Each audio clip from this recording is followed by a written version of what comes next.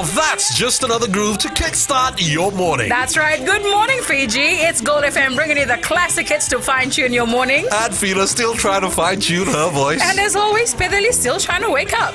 Now this is where you'll find us every morning from Monday to Friday. On Daybreak with Pedali and Fina from 6 to 9. Join, Join us. us. How would you like to spend your morning? You could spend your morning like this.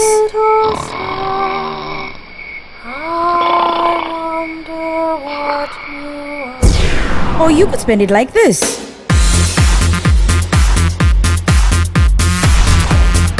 Tune in to the morning ride every weekday morning from 9 a.m. till 12 p.m. right here on Today FM, Today's Seed Music.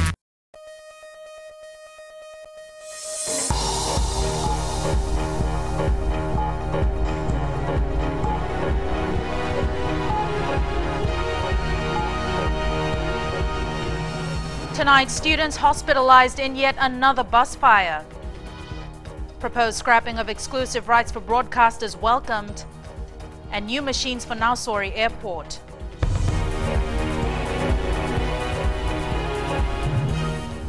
Good evening, I'm Jackie Spate, and you're watching FBC News.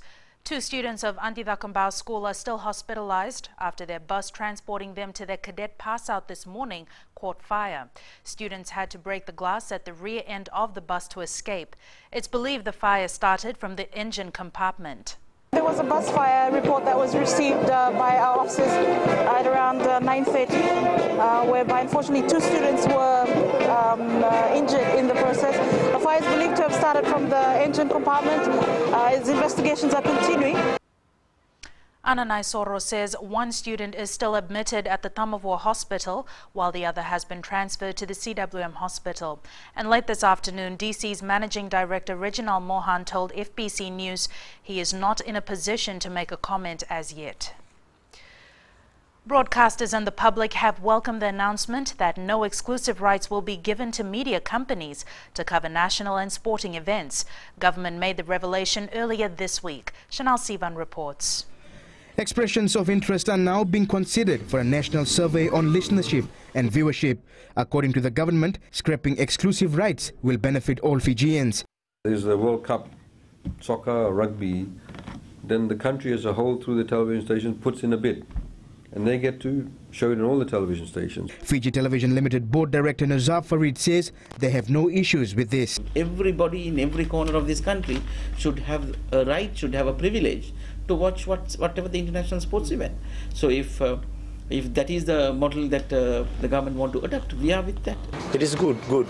People in the interior, they don't get one television.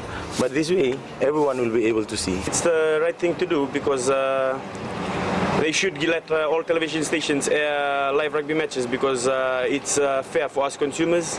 We actually, because some people wouldn't get to catch Fiji One, but they can catch FBC, see? So that way, in, if all the radio stations are playing the games all at once, all people get a chance to watch the games live. It will be a fair play for all the broadcasters. At the end of the day, all will benefit.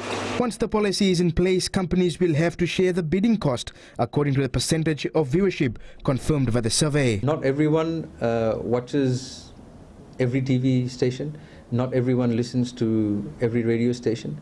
So uh, if, if uh, there is a sporting event of uh, national importance, and if everyone is able to broadcast it, whether through radio or television, then at least uh, we are assured that almost everyone in Fiji, or everyone in Fiji, or, or public members of Fiji, all Fijians, are then able to see or watch. Communications Fiji Limited is yet to respond to questions from FBC News, while MyTV preferred not to comment. Chanel Shivan, FBC News. The Prime Minister Voreqe Bainimarama today signed a memorandum of understanding with the Ba Chamber of Commerce for the new construction of a brand new Ba hospital. Bainimarama says the project, which will benefit close to 90,000 people and is the perfect example of public-private partnerships. He says construction work at the Ba Hospital is long overdue, considering it's 87 years old. The PM says construction of the new hospital will cost more than $23 million, with the government allocating $7.3 million in 2014. Building is expected to start in January, and the government is working with the chamber to finalize plans over the next three months. All permanent secretaries are now on temporary contracts, which will expire by October 31st next year. Public Service Commission Permanent Secretary Pramesh Chand says all posts will then be advertised. Vosita Kote Wasawasa reports. The hike in salaries for all permanent secretaries is to encourage better services to the public. And according to the Public Service Commission, stringent measures will be in place when appointing permanent secretaries. The new salary which has come into being is all indexed to that. It is meant uh, to recruit the best and brightest, uh, not necessarily from, from uh, the current uh, cohort of permanent secretaries. It will be open to anybody uh, who wants to join the civil service as a permanent secretary. Pramesh Chand says that while he cannot elaborate on the individual key performance indicators for the various permanent secretaries, their role is clear. Our paramount uh, role would be to ensure that, of course, our permanent secretaries perform and deliver, and, and, and, and we recruit the best uh, caliber of permanent secretaries. Uh, and as I mentioned, uh, uh, to be able to do that, there will be a whole lot of uh, uh, frameworks uh, put in place. Chand adds there's a lot of expectations from permanent secretaries under their new contracts. They will be recruited from a host of uh, competitive uh, uh, applicants out there. Uh, and and uh, uh, the responsibilities of the job and the um, uh, expectations for delivery uh, will be commensurate with the salary which is being offered. He adds that the recent salary hike is all part of reforms in lifting the standard of service. Vosita Kote Wasawasa, FBC News. International travelers arriving through Nausori Airport can now expect much quicker checkout with the installation of a new Biosecurity Authority of Fiji X-ray machine. This also means Biosecurity Authority has done away with manual checks unless it's really necessary. With this new X-ray machine, Biosecurity Authority of Fiji has promised hassle-free checkout for international travelers. Passengers will feel, feel much more dignified. Eh? Having to ask questions with the passengers and uh, trying to figure out whether the, the passengers are telling the truth or not uh, was quite a difficult task. That's the new X-ray machine at work. The authorities are keeping their fingers crossed that that place doesn't get jammed up like in the past.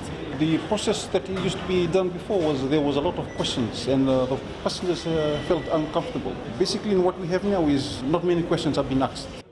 Minutes after their arrival, these travelers from New Zealand did not hold back on sharing their experiences. It included Shortland Street actress Teuila Blakely. Um, yes, you know, the, the airport here actually reminds me a lot of Samoa. So it's very similar um, it's in terms of being like Samoa. So, so um, it's been good that it was just a nice, quick, short wait. Yes. If you are traveling number of times, I mean, unnecessary checking and all that. It's very good. Happy to see this in Fiji. this is much faster. This is much faster and much safer. The installation of this machine is part of BAF's plan to strengthen border security. In the past, uh, biosecurity and customs have been uh, carrying out manual inspections. With manual inspections, uh, as you know, there's bound to be uh, misses in terms of inspection, uh, in terms of small items and drugs. The X-ray machine was previously used at the Nadi International Airport. Mikalonga, FBC News. Just ahead, ACS All Scholars reunite for a common cause.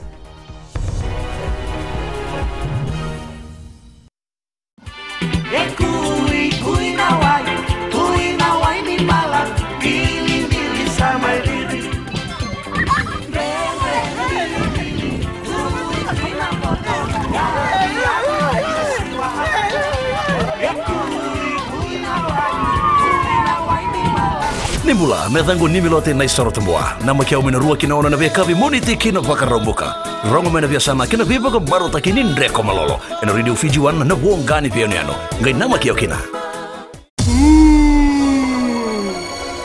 आपकी शादी होने वाली है पाँच पाँच बच्चे होंगे पाँच पाँच पाँच पाँच हाय मैं हूँ आपकी सहेली वेनु सुनते रहिए मिर्च एफ़ मैं हूँ ना नौ से बारह बजे तक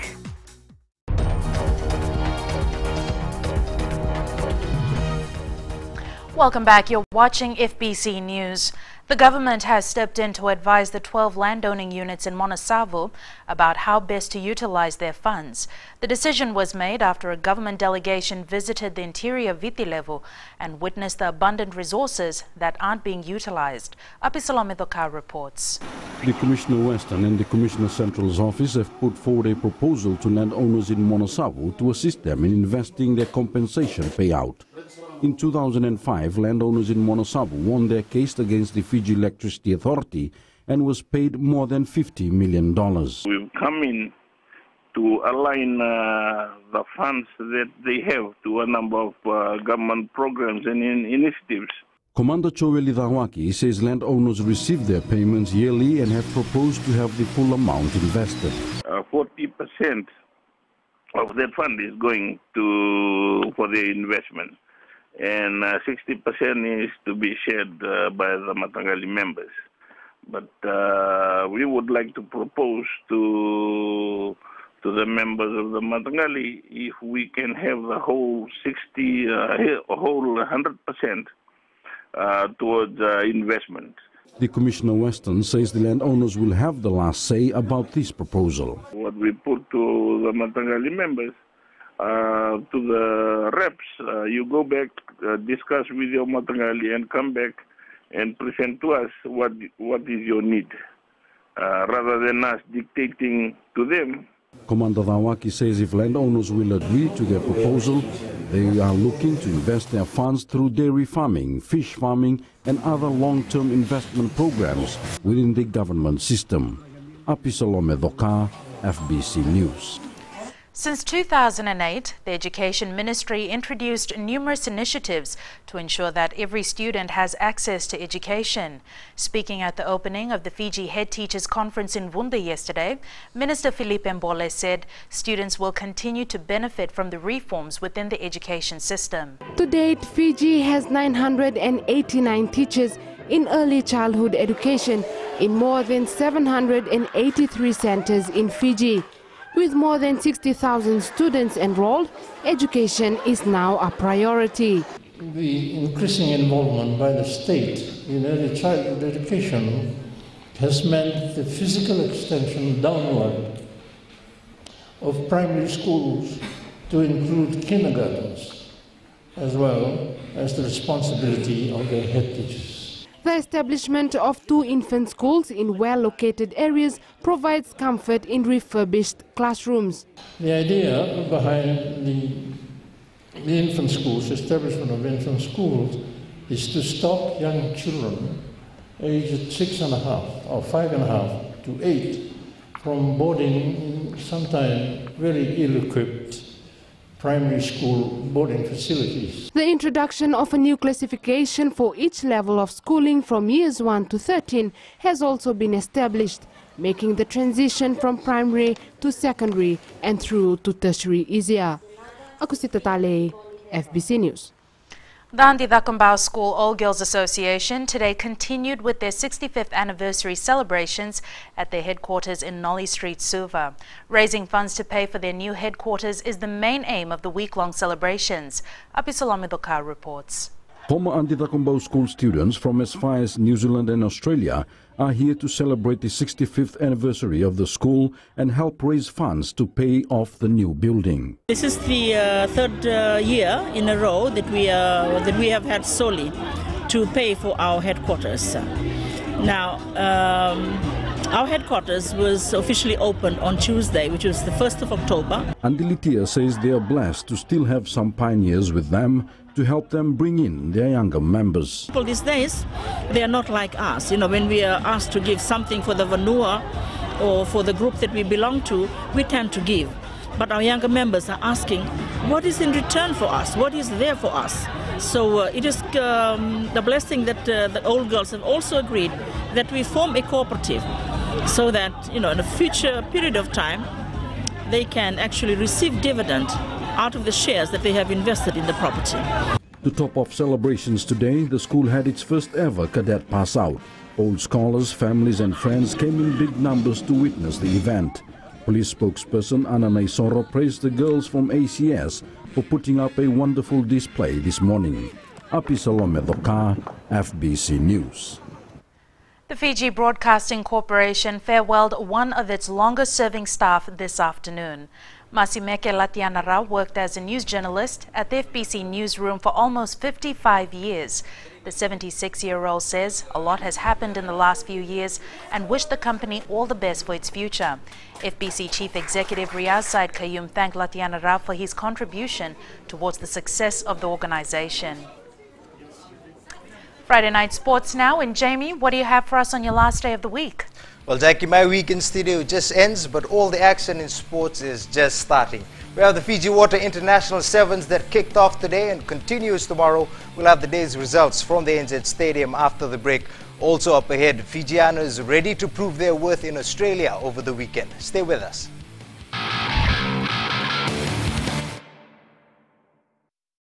Isambolo binaka. Nadhango wadi soni ndalai. Nama kio mani wasini ngono borota kina lali ne kabi. Maina tolu kina bitu. Ena moni tingina por rombuka. Ena mbula FM. Na ena serre. सूरज की पहली किरण के साथ दिन की शुरुआत कीजिए सुबह का मंगल प्रभात आपको शुभ हो सुबह सुबह हो खुशियों का मेला ना लोगों की परवाह ना दुनिया का झमेला पंछियों का संगीत हो और मौसम अलबेला मुबारक हो आपको ये खूबसूरत सवेरा हर सोमवार से लेकर शुक्रवार तक सुबह छह से लेकर नौ बजे तक शामिल रहें रेडियो फिजी पर हम सफर में रविंद्र सिंह के साथ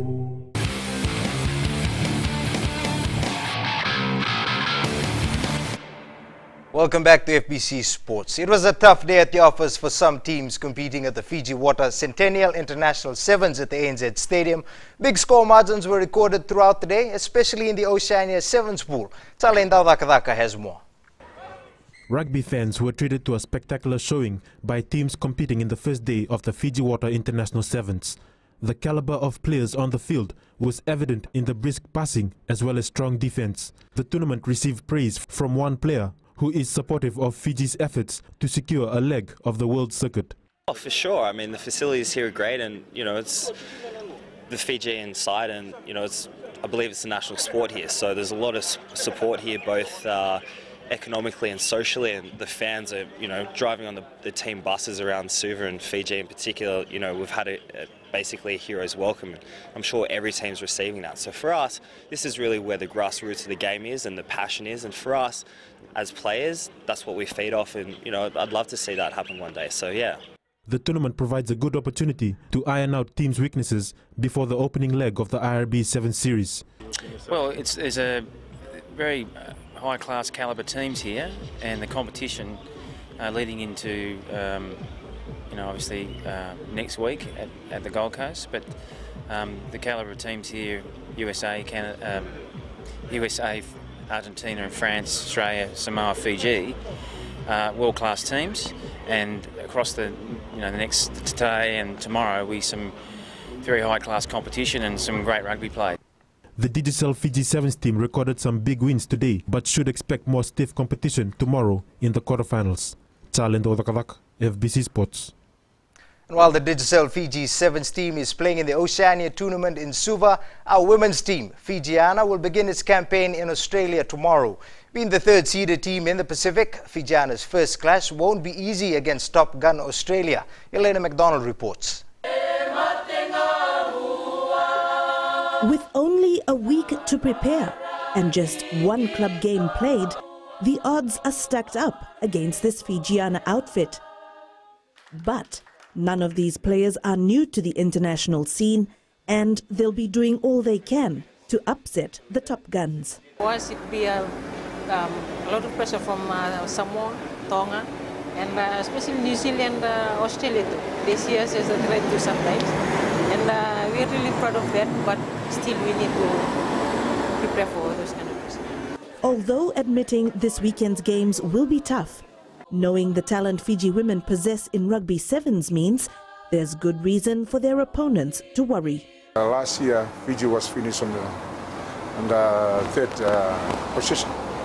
I think that will be maintained on that, uh, and uh, uh, our aim is to win this uh, Oceania uh, game uh, this year. Following the Australian clash, Fijiana takes on Samoa, Papua New Guinea, then New Zealand in the round robin competition.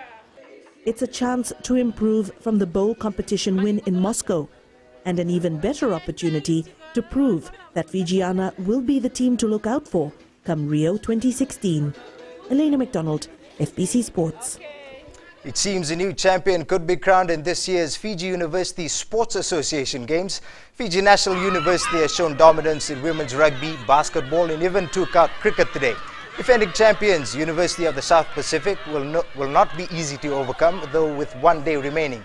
Darts, volleyball, netball and futsal have yet to be completed. The Nasinu football side seeks to become the most successful team in Fiji this year, having already won the Fiji Fact and the Battle of the Giants Premier Divisions. If the Southerners win their National League match against Dreketi on Sunday and win the Courts Inter-District Championship, they become the only team to win all football silverware this year. Shelvin Chand has more.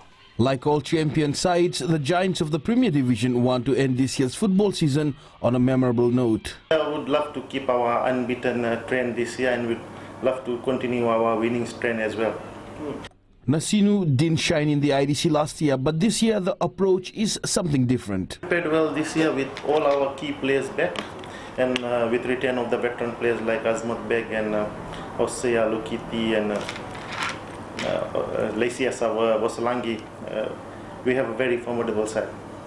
The IDC will be next week. Up first is the National League decider against Northerners Dreketi. It's a do-or-die affair with the series tied. Yeah, we respect Dreketi. They are a very improved side.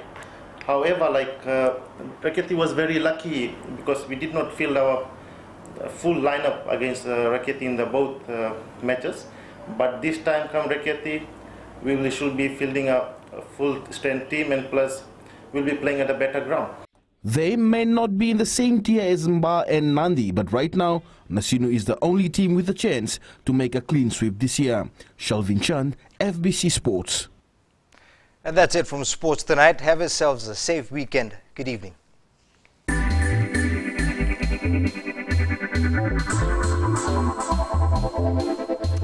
Investment in the country continues to grow in the second and third quarter of this year, and there's indication of positive growth towards the end of the year.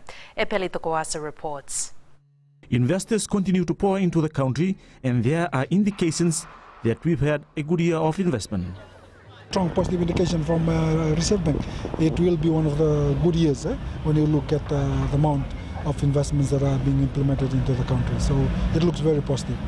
Australia and China stood out as strong contributors to direct investment into Fiji's economy. China, uh, New Zealand, uh, India, and Korea, those are the top uh, five uh, countries. Kemba says, while the tourism sector tops investments in Fiji, services have also come out strong. In sector-wise, you still look at tourism as number one. Services is one that has really come out strong, and real estate plus uh, manufacturing. Eh? Uh, those, those when you look at uh, the major sectors that are coming into the country for the last six, last nine months or so. This positive growth in investment will surely boost Fiji's economy and open up employment opportunities in the country. Epeli Tukuasa, FBC News.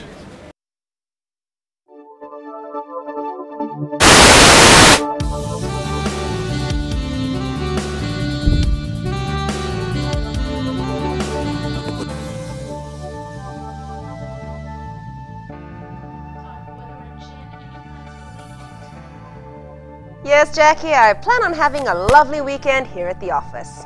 Now for the map. And would you look at that? What happened to all the sun we were supposed to have? Well, according to our friends at the weather office, it was an incredibly cloudy day with only the west having sunshine in the afternoon. And not only was it very cloudy, it was also a very cool Friday. Ba was the only major center in the 30s, while everyone else on the chart had temperatures in the 20s. Tomorrow sees the same conditions for everybody, sunshine in the morning with rain developing in the afternoon. And there's another strong wind warning. It's in force for Kadavu and Vatuira passages, Yasawa and Mamanuca waters. And speaking of waters, here's a photo taken at Savu Savu Bay. You can actually see the steam from the hot pools where the stream meets the sea. Thanks for the picture, Shakti. That's it from me for the week. We'll catch up again on Monday. Thanks so much for that, Genevieve. The headlines again students hospitalized in yet another bus fire. Controversial Aztec, sorry, and proposed scrapping of exclusive rights for broadcasters welcomed. To the poll question now, and we're asking Can Fiji defend its Gold Coast Sevens title? Visit www.fbc.com.fj to take part. Remember to send us newsworthy pictures and videos. Email citizenseyes at fbc.com.fj. That's your Friday night news. I'll be back again on Monday. Until then, you have yourselves a safe and enjoyable weekend. For.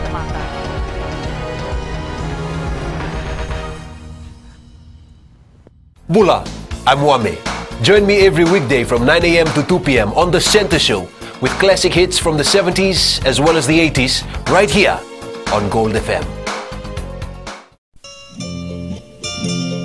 Nisambulo binaka oya wone kamanalangi oni nandorungo viao mai na viwa kina rue na visinga mai na moniti kina boga rumbuka na radio Fiji wana ndomo biti bongani bianyanu na makatalenga na bengo na sasi biani na tinna kaloko na bembongi ni bukilulu kena bima mani walu na bembongi ni bakarowai mai na mbuza ni balu ninge namaka.